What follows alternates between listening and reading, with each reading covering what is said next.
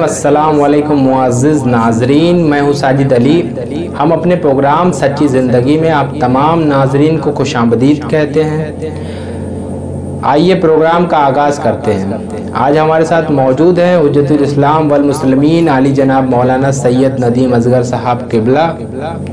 आज का मौजू है अमानत। उसी के हवाले से मौलाना से गुफ्तु करते हैं। बसमीम अल्लाहुम्म सल्लि अला मुहम्मद व आलि मुहम्मद वअज्जिल फरज क़ाल रसूलुल्लाह सल्लल्लाहु अलैहि व आलिहि वसल्लम बिस्मिल्लाहिर रहमानिर रहीम रअसुल इस्लाम अल अमाना इस्लाम की असास इस्लाम की बुनियाद अमानत। और जब इस्लाम की बुनियाद और इस्लाम की असास अमानत है तो अगर कोई अपने को मुसलमान समझ रहा है या मुसलमान कहलवा रहा है तो उसको अमानतदार होना चाहिए। अगर उस इंसान के अंदर अमानतदारी नहीं पाई जाती तो अभी वो सिर्फ़ जबानी दावा कर रहा है। इस्लाम उसके वजूद में सरायत नहीं किया। इसलिए कि इस्लाम जब भी आएगा तो अमानतदारी अपने साथ लेके आएगा। वो इंसान अमानतदार नहीं बन सकता या जो इंसान अमानतदार नहीं है, वो हकीकी मुसलमान नहीं बन सकता। अब ये अमानतदारी, चाहे उसके अपने वजूद तक महदूद हो, कि बहुत सी अमानत है जो अल्लाह ने हमें दी है, और हर अमानत दार इंसान अपनी अमानत को वक्त ज़रूरत अपने उस शख्स तक पहुँचा देता है कि जिसने उस पे वो अमानत अमानत रखवाई हो। खुदावंद आलम ने हमको अमानत दी है, कभी हमारी सलामती के ज़रिए से। कभी इल्म के ज़रिए से, कभी हमारे आजाओ जवारे के ज़रिए से। ये जितना वजूद है हमारे पास, इसमें कोई चीज़ हमारी अपनी नहीं है, बल्कि हम अमीन हैं, हम अमानतदार हैं, हमको किसी ने ये अमानत दी है। इसलिए कि अगर हमारी अपनी होती तो हम जैसे चाहते सर्व करते। हर शय जो इंसान की अपनी है, वो इंसान जैसे चाहे खर्च करे, जैसे चाहे सर्व करे, कोई दूसरा रोक टोक करने का हक नहीं रखता। लेकिन चूँकि इस्लाम की बुनियाद है अमानतदारी तो मुसलमान वही होगा जिसके अंदर अमानतदारी का जज्बा और एहसास और शूर हो। तो जैसे ही हम मुसलमान होंगे, वैसे ही हमको ये बात समझ लेनी चाहिए कि हमारा ये हाथ, जिसको हम हमारा कह रहे हैं, ये हमारी अमानत है। हमारी आँखें अमानत है। इसलिए कि नफ्स अलग है, वजूद अलग है। हम अलग हैं, हमारी चीज़ें अलग हैं। अगर हम हैं तो यह आँख हम नहीं है यह आँख हमारी है। इसका मतलब यह है कि जैसे किताब हमारी है तो किताब हमारे असल वजूद से अलग है। ये अलग बात है कि ये आँख हमारे वजूद में शामिल है, बदन के आजाओ जवारे में है, मगर हमारे असल वजूद में नहीं है। क्या जो इंसान आँख नहीं रखता, उसे हम इंसान नहीं कहते? जिस इंसान के हाथ कट जाएँ, उसे इंसान नहीं कहते? तो ये सारी चीज़ें हम नहीं हैं। लिहाजा जब हम नहीं है और ये जो हम भी है ना, ये नफ्स, ये भी हमारा अपना जाति नहीं है, ये भी अमानत है। तो जब इन तमाम चीज़ों में हमें ये एहसास पैदा हो जाए कि ये सारी चीज़ें हमारे पास अमानत के तौर पे हैं तो फिर जैसे हमसे देने वाले ने कहा है, हम वैसे ही मसरफ कर सकते हैं।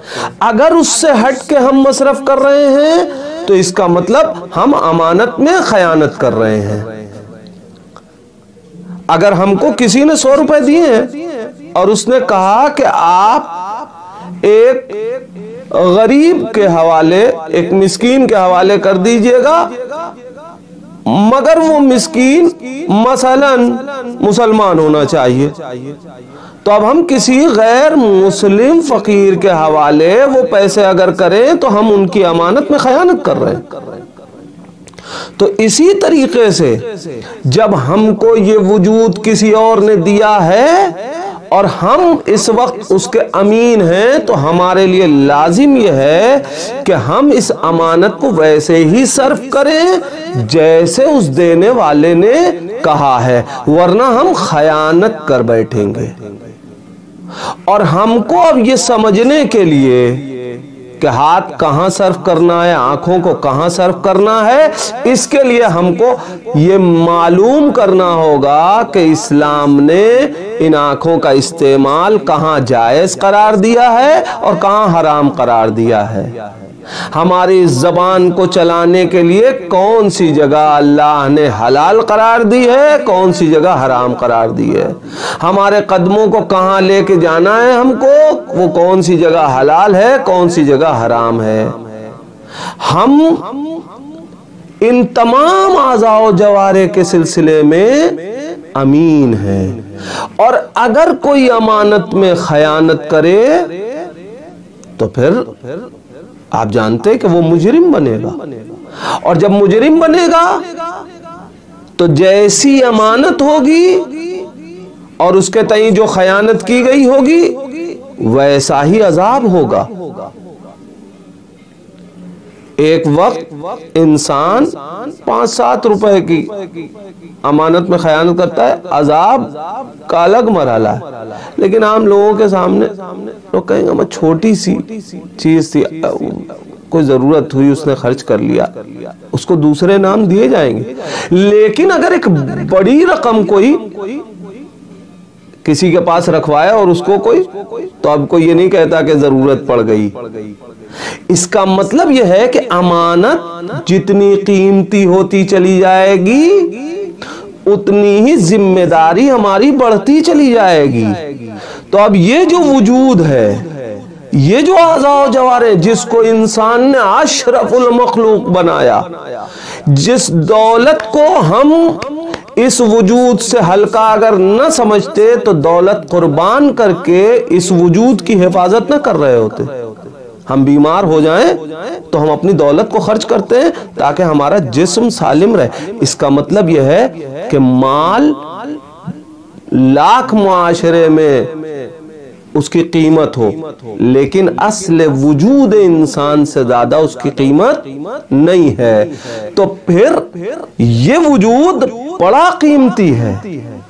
तो अब इस वजूद के सिलसिले में हमको चाहिए कि हम इस अमानत को खयानत से बचाएँ। अगर नहीं बचाएँगे तो फिर हम जवाबदेह होंगे। हमें कोई मकाम मिला है? यह अमानत है हमारे पास। इसलिए कि अगर ये हमारा जाती मकाम होता तो जैसे मासूमीन के अकवाल और रिवायतें मौजूद हैं कि किसी हाकिम को ये नहीं समझना चाहिए कि ये हुकूमत उसकी अपनी है, वरना अगर उसकी अपनी होती तो जब वो आया था, तभी उसको हाकिम होना चाहिए था। रोज अव्वल से लेके उसी को हाकिम होना चाहिए था, लेकिन आज वो हाकिम है, कल कोई दूसरा हाकिम था। तो इसका मतलब उसकी जाति नहीं है। तो कोई मकाम हो, कोई पोस्ट हो, कोई जगह हो। हम अमीन हैं। और जब हम अमीन हैं तो अगर मुसलमान है कोई तो उसको सबसे ज़्यादा अमानतदारी का ख्याल करना पड़ेगा। शायद यही वजह है कि जब हम सीरत पैगंबर इस्लाम को भी पढ़ेंगे तो वहाँ भी हमको ये बात वाजे तौर पे मिलेगी कि पैगंबर इस्लाम ने अपनी रसालत का कलमा बाद में पढ़वाया है। कुफार मुशरकिन से अपनी सदाकत और अपनी अमानत का कलमा पहले पढ़वाया। पैगंबर इस्लाम को अमीन और सादिक कहा जाता था। कुफार कहते थे, मुशरकिन कहते थे। और सिर्फ़ कहते नहीं थे, बल्कि अपनी अमानतें लाके नबी के पास रखते थे। हत्ता ऐलान रसालत के बाद भी रसूल नहीं मानते थे, मगर अमीन मानते थे। लिहाजा अगर हम मुसलमान हैं तो हमको चाहिए कि हम अमीन हो।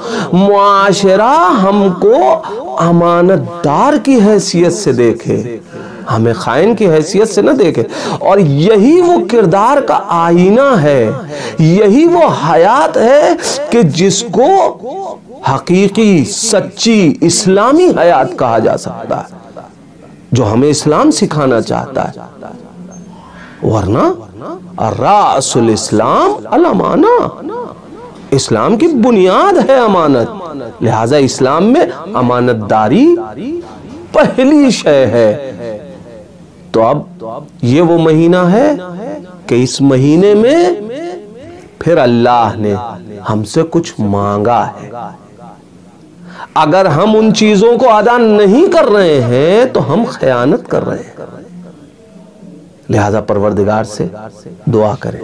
बहुत से वाकयात हैं, आप तारीख पढ़ेंगे तो अमानतदारी के आपको वाकयात मिलेंगे। और हमारे यहाँ तो इमाम सैद सलाम की वो रिवायत कितनी अजीम है कि अगर मेरे बाप का कातिल भी अपना खंजर मुझे बतौर अमानत सुपुर्द करता तो मैं वैसे ही उसके हवाले करता। लिहाजा कम से कम अहले बैत के जो चाहने वाले हैं, उनकी ज़िम्मेदारी और बढ़ जाती है कि हम अमानतों को पहचाने और अपनी अमानत को महफूज करके जिस तरीके से खुदावंद आलम ने, जिसने ये अमानतें हमारे सुपुर्द की हैं, जैसे उसको सर्व करने के लिए कहा है, हम उस तरीके से खर्च करें।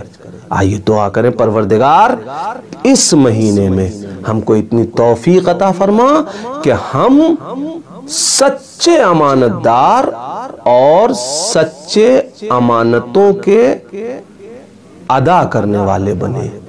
परवरदिगार, हमें खाइन न बनाना, हमें कायनात से खाइन न उठाना। बल्कि हम तेरी अमानतों को जैसे सुपुर्द किया है तूने, हम उसी तरीके से उसको अदा करने के लिए तूने जहाँ जहाँ कहा है, हम वहाँ अदा कर सकें। चाहे वो दौलत की अमानत हो, चाहे वो इल्म की अमानत हो, चाहे वो हमारे अफकार की अमानत हो, जितनी अमानतें भी तूने हमें सुपुर्द की हैं, हम उन तमाम अमानत को अदा कर सकें। बहुत बहुत शुक्रिया नाजरीन। आप सुन रहे थे हज़रत इस्लाम वलमसलमिन अली जनाब मौलाना सैयद नदीम असगर साहब किबला को। आप तमाम नाजरन से एक शुर फातिहा की गुजारिश है। राहत हुसैन उर्फ़ मल्लन साहब, मरहूम इब्ने शफकत हुसैन मरहूम को। कि एक सूर्य फातिहा पढ़ के आप बख्श दें। और इन कल फिर आपके सामने रूबरू होंगे नए मौजू के साथ रात आठ बजे सच्ची ज़िंदगी प्रोग्राम में बनारस का दरार यूट्यूब चैनल पे। तब तक के लिए खुदा हाफिज।